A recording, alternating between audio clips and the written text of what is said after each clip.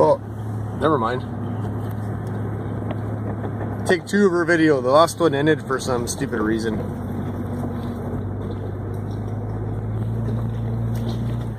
Here's my co-pilot.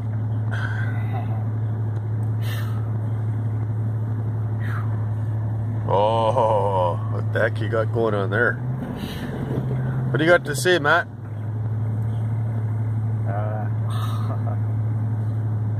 That's it? where are we? Oh man. Hey, Matt's lost in space. oh, this is quite the road. Driving my 1997 stock X. Oh no, it's not XJ, it's my LG. 1997 ZJ. Bought it off some old guy in Hope. It was mint condition, inside and out. Almost looked like a Cadillac until I got a hold of it.